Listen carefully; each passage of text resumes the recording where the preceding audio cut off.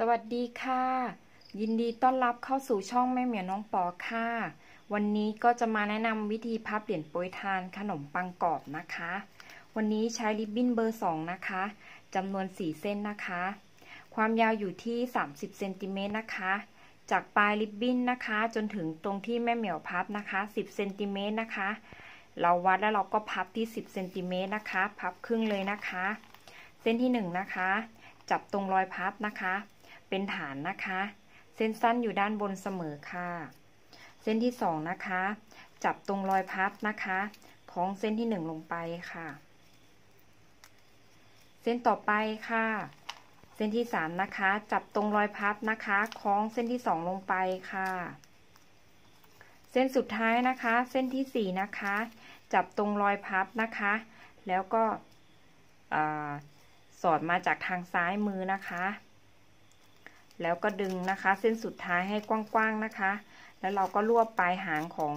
เส้นที่สามนะคะ ใส่ลงไป เพื่อทำการล็อกฐานนะคะ ขั้นตอนต่อไปนะคะ ใส่เหรียญลงไปนะ เส้นสั้นนะคะจากด้านบนนะคะ เราก็พับลงมาด้านล่างนะ เส้นสั้นนะคะ จากขวามือเราก็พับไปที่ซ้ายมือ เส้นสั้นนะคะ จากข้างล่างเราก็พับขึ้นไปด้านบนค่ะ เส้นสุดท้ายค่ะ เส้นจากทางซ้ายนะคะ สอดไปทางขวามือนะคะ สอดลงไปตรงกลางของเส้นที่หนึ่งหรือว่าเส้นสีขาวค่ะพอได้ลักษณะแบบนี้นะคะ เราก็พลิกกลับด้านค่ะพลิกกลับด้านมาแล้วนะคะ เส้นสั้นนะคะ เส้นสั้นนะคะ จากข้างล่างนะคะไอจากข้างบนนะคะ สอดลงมาด้านล่างค่ะ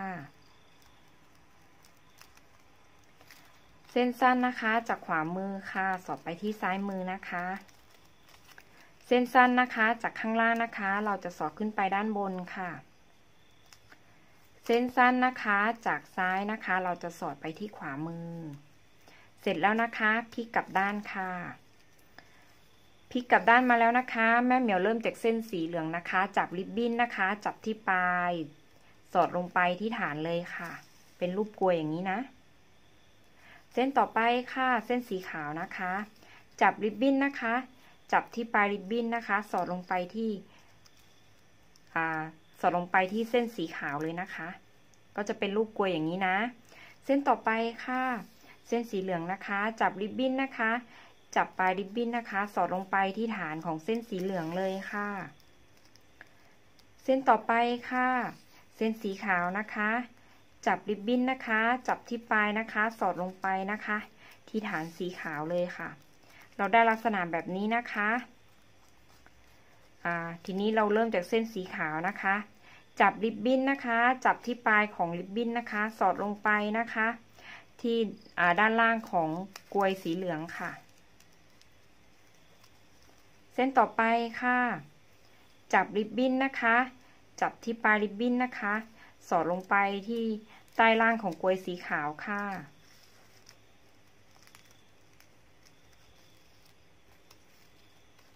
เส้นต่อไปค่ะ จับริบบิ้นนะคะ จับที่ปลายริบบิ้นนะคะ สอดลงไปนะคะ ที่ใต้ล่างของกลวยสีเหลืองนะ เส้นต่อไปค่ะ จับริบบิ้นนะคะ จับที่ปลายริบบิ้นนะคะ สอดลงไปนะคะ ที่ใต้ล่างของกลวยสีขาวค่ะ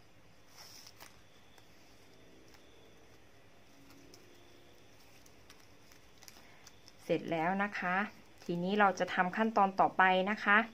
เส้นสีขาวนี้นะคะ จับริบบิ้นนะคะ พับขึ้นมาด้านบนค่ะ จับปลายริบบิ้นนะคะ พับลงมาด้านล่างค่ะ แล้วก็สอดลงไปนะคะ ที่ตรงกลวยสีขาวนี้นะคะ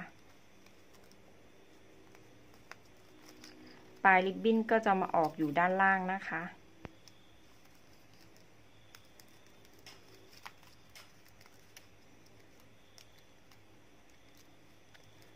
เส้นต่อไปนะคะ เส้นสีเหลืองจับริบบิ้นขึ้นมาด้านบนค่ะ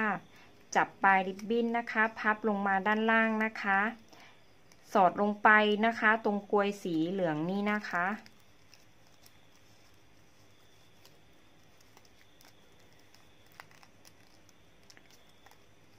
ปลายริบบิ้นนะคะ ก็มาออกมาอยู่ด้านล่างนี้นะคะ เส้นต่อไปนะคะ จับริบบิ้นนะคะขึ้นมาด้านบนค่ะ จับปลายริบบิ้นนะคะ พับกลับลงมาด้านล่าง สอดลงไปนะคะ ที่ใต้ล่างกลวยสีขาวค่ะ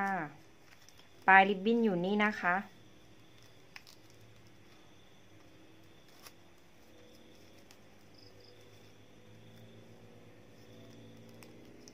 เส้นต่อไปนะคะ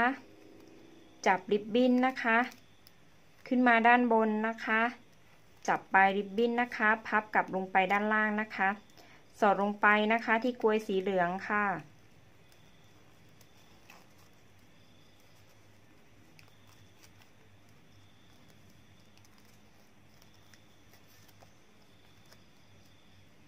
เสร็จแล้วนะคะ ขนมปังกรอบของแม่เหมียวนะคะ เราก็จะพลิกกลับด้านนะคะ สอดเก็บตามลายเส้นนะคะ เส้นจากด้านบนนะคะ สอดลงมาด้านล่าง เส้นจากจากขวานะคะ สอดไปที่ซ้ายนะ เส้นจากข้างล่างค่ะ สอดขึ้นไปด้านบน เส้นจากซ้ายนะคะ สอดไปขวามือ เสร็จแล้วนะคะ ขั้นตอนนี้ก็จะตัดปลายริบบิ้นทิ้งเลยนะคะ